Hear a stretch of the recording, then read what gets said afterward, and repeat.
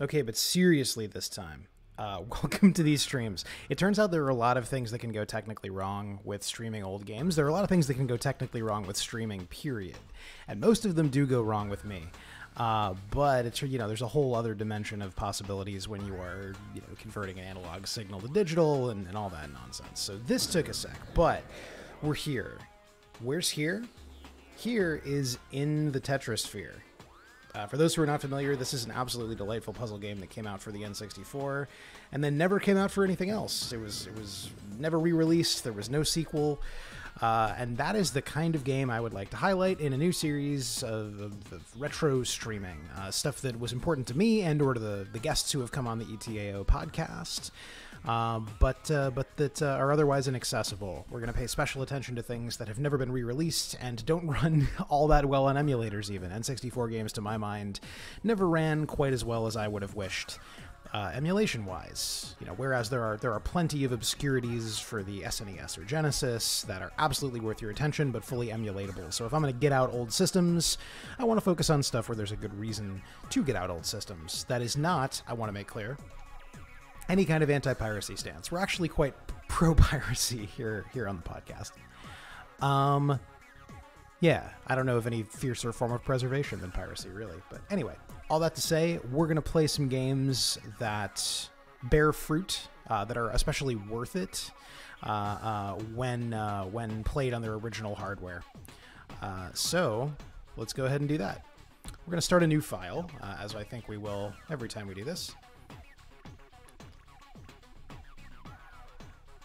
It was Drew last time, so who am I today? How many characters do we have?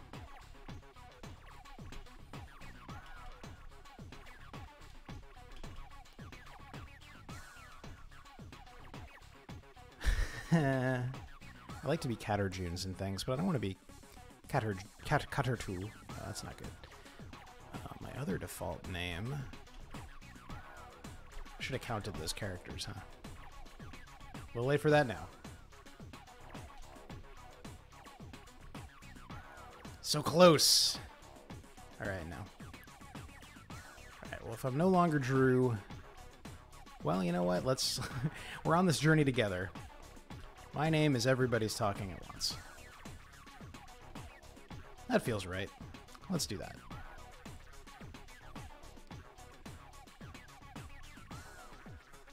Let's pick our bot. Um, so Jack was who I played as back in the day. Um, what do speed and power even do? I do not remember. Well, we'll go with Jack for the moment. If somebody in stream played this game back in the day and knows uh, why that's a terrible choice, let me know, uh, and uh, and we we can adjust accordingly. Okay, I think there's no further ado necessary. Let's begin. I tried this earlier, but I hit a couple of technical snags, so we're going to start from the beginning uh, of Rescue, which is sort of the main mode. Um, this is a game where you play Tetris on a sphere, hence Tetrisphere, uh, and the goal of these sort of what I think of as the main levels uh, is to rescue this uh, little sphere, who I thought of as the dude at the center although there's no you know explicit gendering of said sphere. Uh, the cute little big-eyed jobby uh, who escapes. So we want to clear enough space for this orb creature of varying size to get free. We can move stuff around. We can drop blocks. There are also items. Uh, which you know basically just clear blocks, blow blow them up, or magnet them away, or magic them away in some way or other. Uh, we will collect those, and the, the longer we hold out, you know, the more of them we collect without making a mistake, basically, the, the nicer and more powerful a thing we can acquire. Deferred gratification. Um, I always waited for one of the really late ones as a kid. Um, as I said earlier in the stream that didn't go well, uh, you know, how much of that was solid strategy and how much of it was just neurosis, I don't know. Let's find out. Let's find out by finding out how good an idea it is to wait for the really nice stuff. These glowy spheres give us time back, which is very helpful. We have that little ticking clock thing down in the little watch Notion.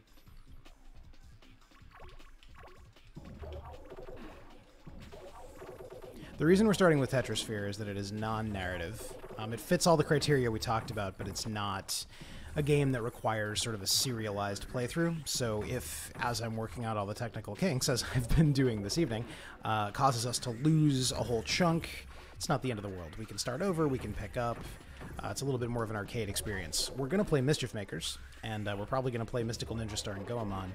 Both of those are, you know, games that you want to play in sequence. Uh, we're probably going to do more or less completionist playthroughs of both. So we're starting with something a bit simpler, more straightforward, uh, less reliant on you following the thread.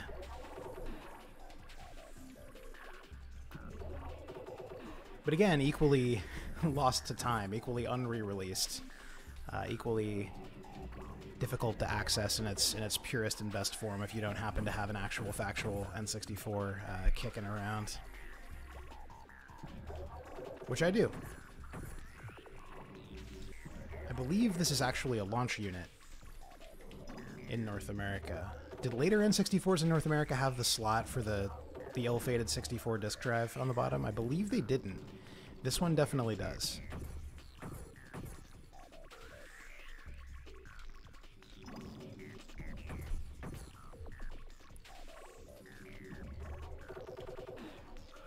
You're free.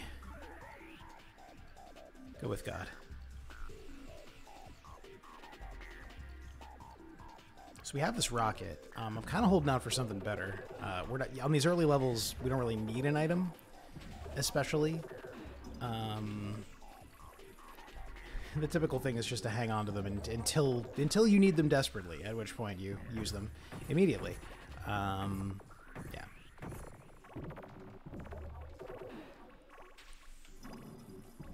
You could hear there was kind of a combo going longer than I could actually see.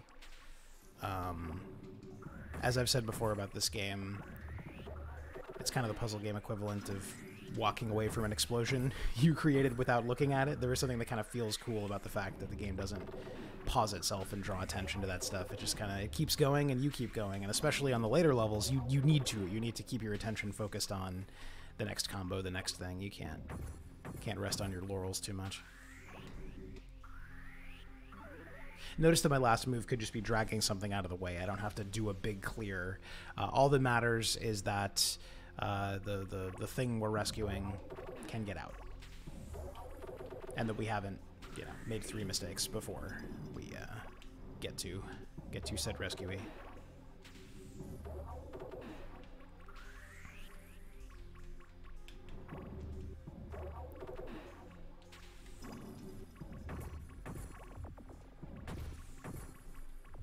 Items are pretty rare early on. I mean, you don't really need them, but still.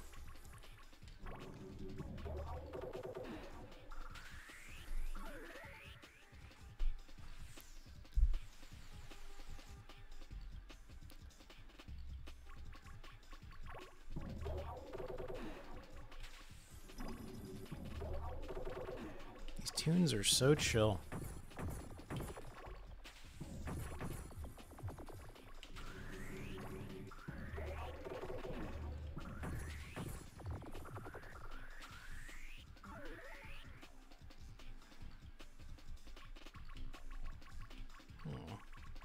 Board there up top.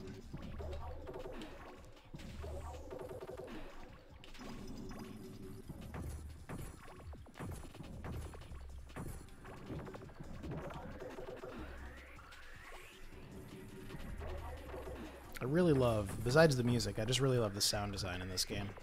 Those whooshy noises and those uh, sort of wonderfully wet sounds as as blocks get uh, get cleared.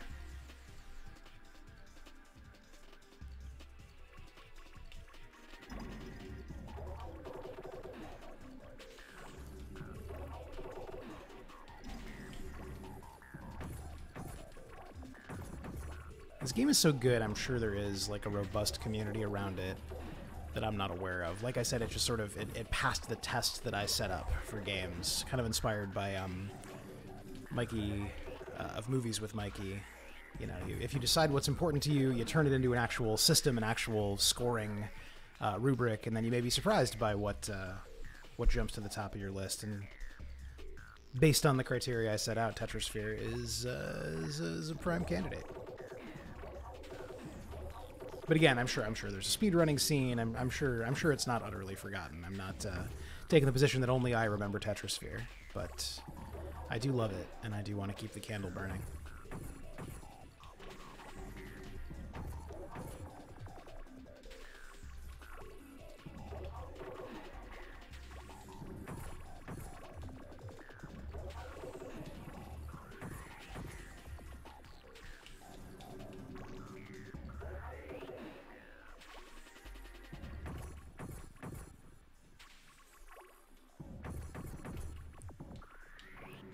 We got another item, so now we have the dynamite, which is better, clears more blocks. We still don't really need it, so let's... I believe we can carry that to the next world, as it were, the next sequence of 10 levels if we don't use it, so may as well. Oh yeah, you're not quite free, are you? Let's take care of that.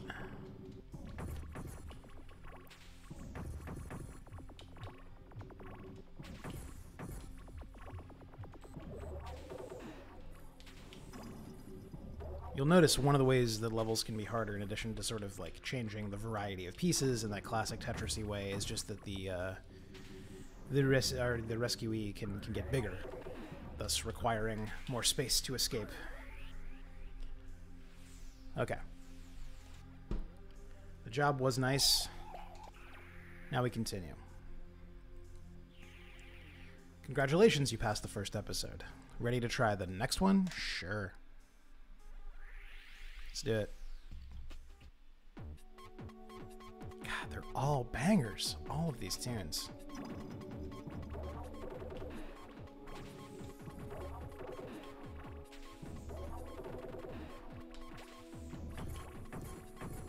This is the kind of game where if I run out of things to say and I don't have someone else to come and talk to me about it, at some point, it might be perfectly worth it to just shut up and have a chill time listening to the sounds of Tetrisphere. It's such a cool soundscape.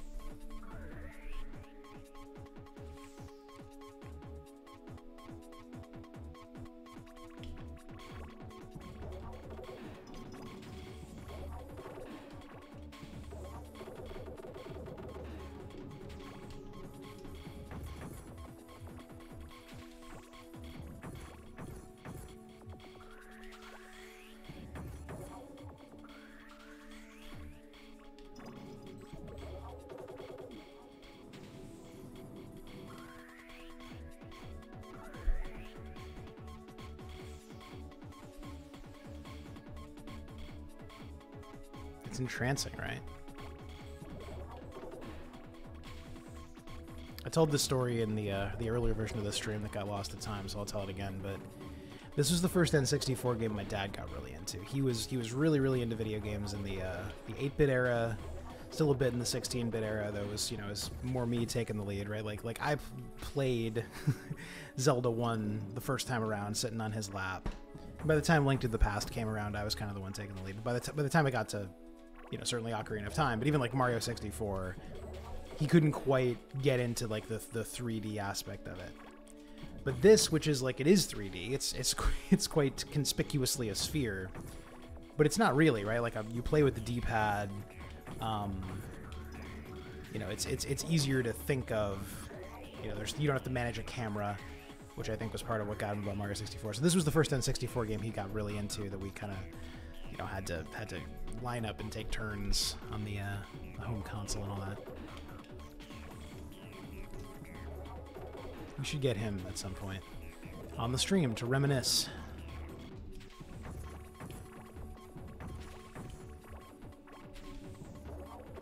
Like I said, before I start doing stuff, because I think I would like to talk to people who have interesting things to say about the design of these games while I'm playing them. But yeah, I just wanted to be very sure I'm not going to waste their time by screwing some of this up with my, uh, you know, poor streaming old manishness.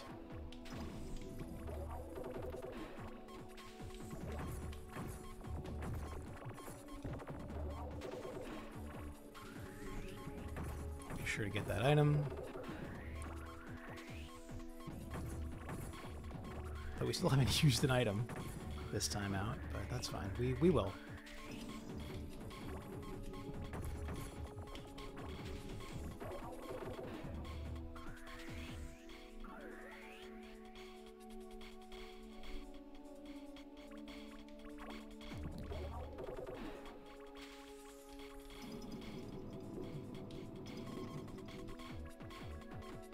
I go back and forth with a game like this. I, I certainly see the value, like I would as a viewer, and so I do as a as a streamer, in just kind of hanging out, having a nice chill time. I think in general, there being someone on here besides me to talk is probably not a bad idea. I don't know.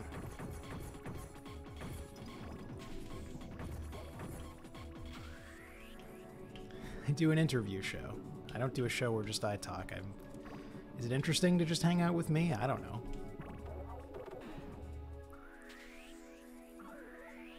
What do I know about anything? I know a lot about Tetrisphere.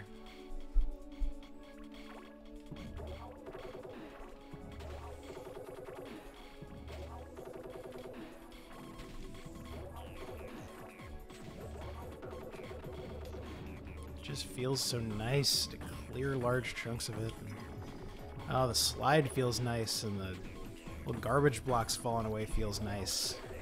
Much is made about game feel. This game, this game feels very good in regards to game feel. That was the deep tissue game design analysis you came for. So what is it, right? What is it that makes it feel so good? It's um it's the responsiveness of the controls, it's the way the sound and the visuals play off each other. This game is is all but unmatched as far as vibes.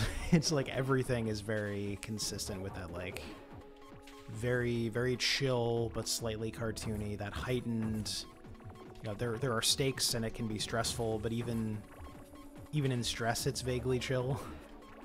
I mean, this isn't very stressful right now. We haven't even heard the uh, "you're running out of time" sound once, I don't think, but you, we'll we'll be hearing it a lot in the later levels if we get that far.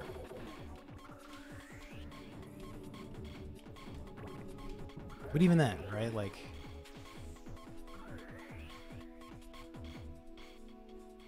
your buzz is not harsh, even even when things are intense, which I appreciate. I feel like um, this is something some recent iterations of, of Tetris, not Tetrisphere, but you know Tetris, uh, te- sphereless Tetris, have, have have you know somewhat captured as well. The Tetris uh, effect was that the new one, the super expensive luxury Tetris that had PSVR integration. It has something of a similar tone, at least on some levels.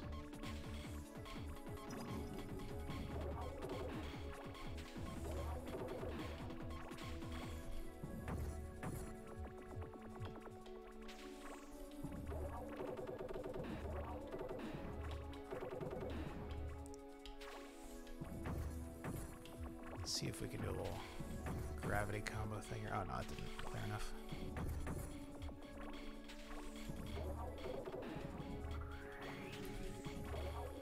So this is the best item, or at least the, the last item. Whether it's objectively the best, I don't know. Uh, maybe we'll just go ahead and use it on 210.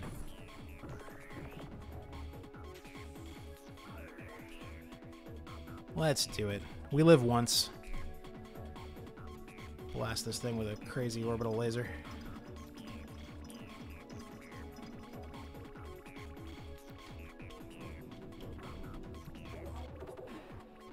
It's what's cool about that item is it's sort of up to you whether you want to use it to blow away an area that is that is very wide or very deep.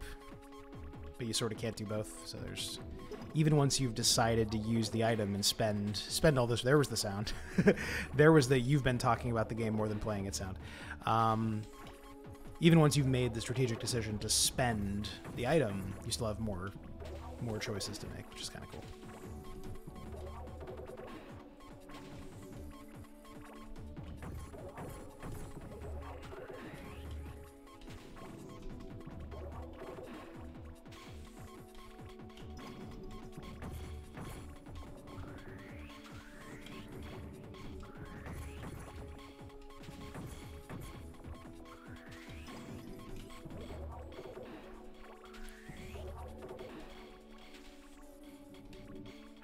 Periscope. This is maybe my first time streaming on Periscope. How does Periscope work? It's like a Twitter thing, right? You're seeing this as a tweet, probably. So I imagine you get more people for less time as a rule, because it's probably a lot easier to just happen upon it and be like, oh, some guy's playing Tetrisphere. Oh, he's, he's not a guy I care about. or conversely, oh, oh, Drew's playing something. Oh, it's Tetrisphere. I don't, I don't know what that is, or I don't care. Um, fleeting attention, it seems to me, would be would be the market. But maybe I'm wrong. Maybe, maybe that's a, a Twitter stereotype, a vicious Twitter stereotype. And that's World Two. I think we can do World Three. Let's do it, and then we'll call it. Episode 2 down. I keep calling them worlds, but they're called episodes. Episode 2 down. It's not always going to be this easy. True. True. All too true. Okay.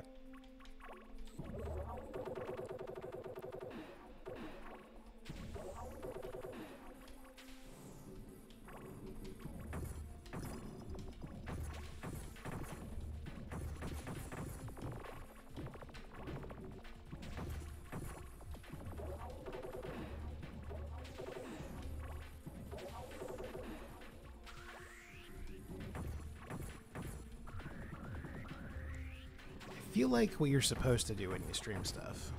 Not to make all the talk on the stream about streaming, but that's I'm newer to streaming than I am to Tetrisphere. I, what you're supposed to do is have your big dumb face in the corner. You're supposed to have Cruft on the left and right because I think certain platforms like YouTube are going to make this 16.9 even if even if the game is in is in 4.3. Um, I don't know. I kind of just want to capture and show you this pristine, beautiful footage and talk at you.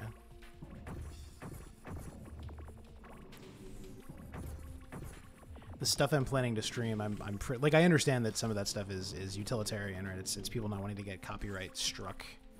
The stuff I'm streaming, it's relatively unlikely to happen, so I feel like that frees me up to just show you these beautiful games because games of this era have this this real specific set of looks to them. Just kind of want you to enjoy that.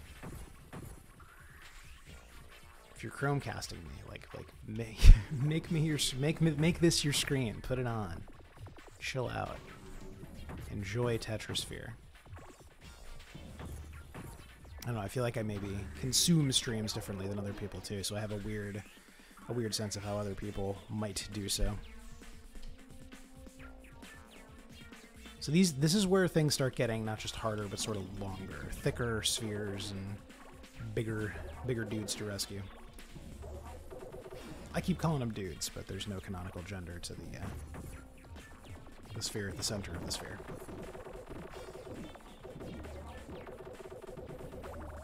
My dad and I always called them dudes, so old habits die hard.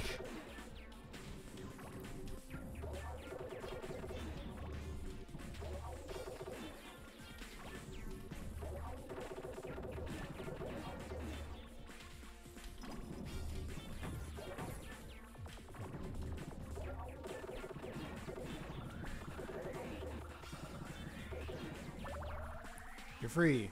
Wow, we got to the orbital laser really quick there. We must have hit a bunch of items. If I remember right, 3-9 is a beast, so we may use it there.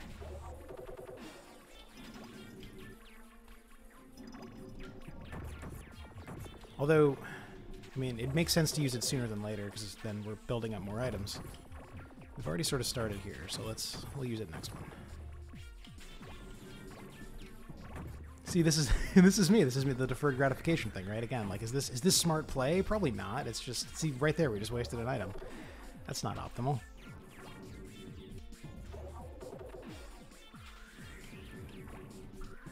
Whenever you see one of those little orange explody glows, that's that's us getting an item, or or maybe not getting one if I'm being pigheaded and keeping them forever. So let's let's stop setting on it. Let's do this thing.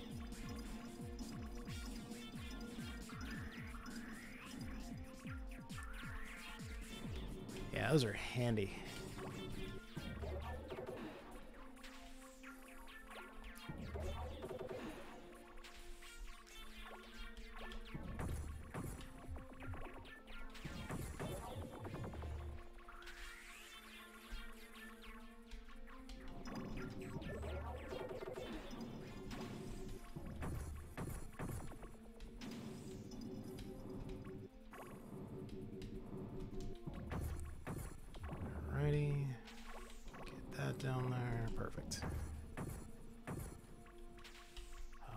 Not out though.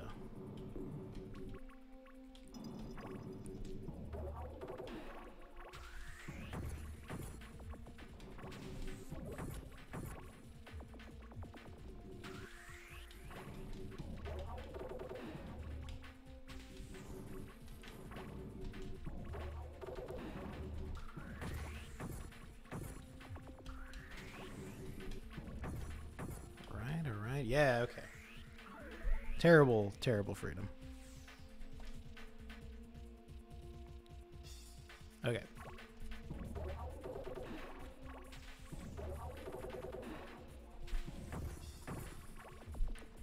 Okay, so the glow means there's a like block below it. So you're getting like layers. And that's what you get the time bonus for. Is is taking advantage of, of the three dimensions that we are in, this being Tetrisphere. This ain't your grandpa's strictly two-dimensional Tetris. It's the 1990s, goddammit, and our Tetra our Tetris scenarios are spherical.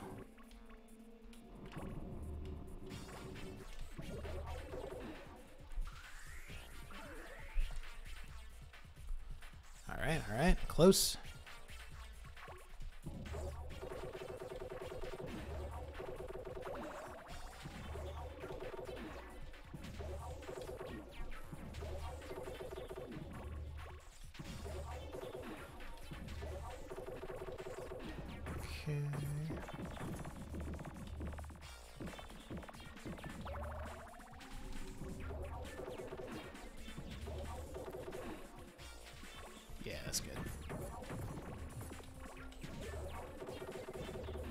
Oh, slippery.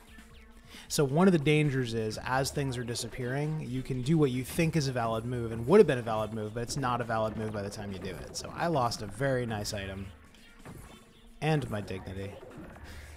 but that is literally the first mistake we've made in these um, 37 stages we've done just now. So I should probably walk it off and get over it. Not that it's the only suboptimal thing I've done, but it's the only, you know, like mistake with a capital M. It's the only time I have taken damage, lost a heart, lost my item, shamed myself, etc. so it's alright. Could be a lot worse.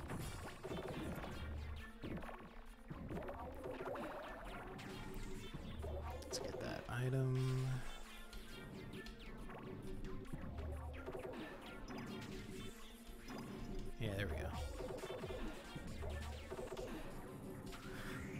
I remember in the later levels, my dad and I just being like, "When is this? Is this dude gonna show up?" It feels very long later on. You will not see those really intense levels tonight, but you will see the dude getting really big, which is definitely a challenge. 310, I believe, he's quite big.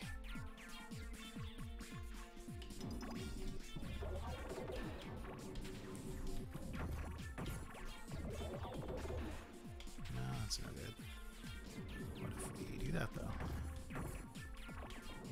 Great. This item we have now, I think, just gets rid of a semi-random assortment of Tetraminos all over, all over the sphere, which is not as exciting to me as a, a targeted strike.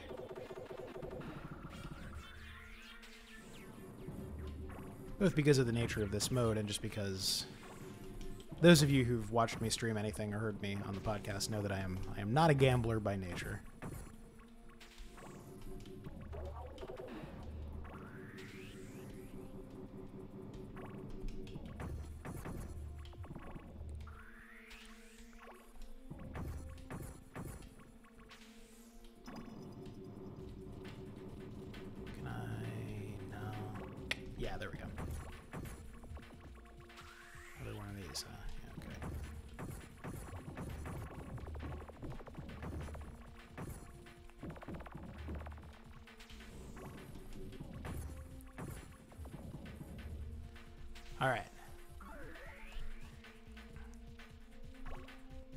Welcome to 310.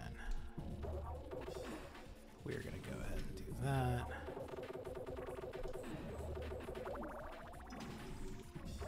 We got the orbital laser. We'll use that as soon as we feel the least bit stuck.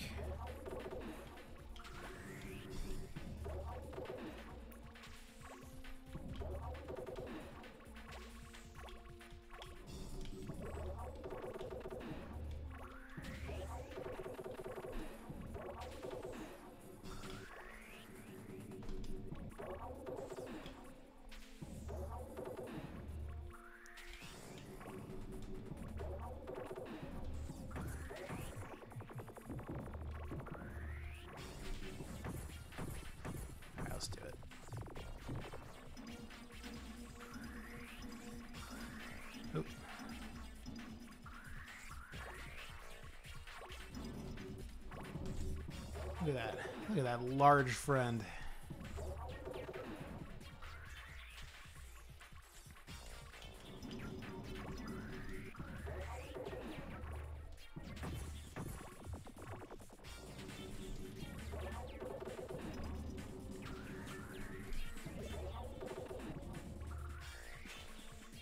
I believe even the little light purple garbage blocks will stop him from escaping, so we may have to just drag something across there. But anyway, we're not we're not quite done anyway.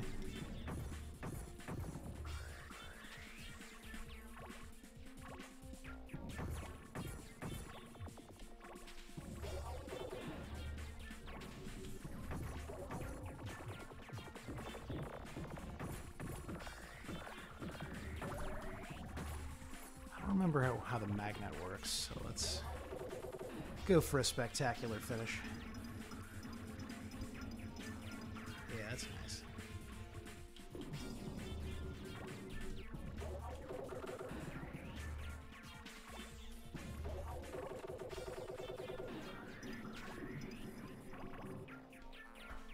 Be free.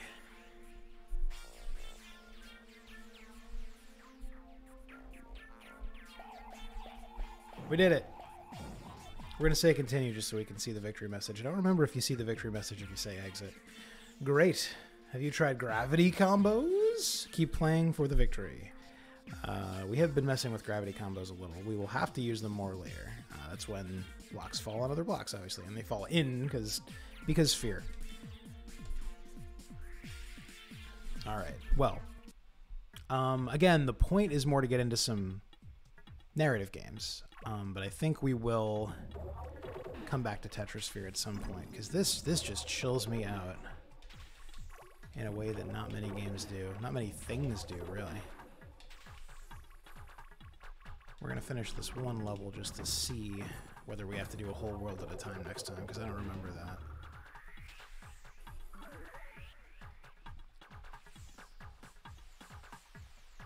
Okay.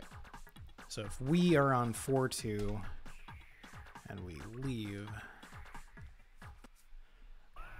think when we go back,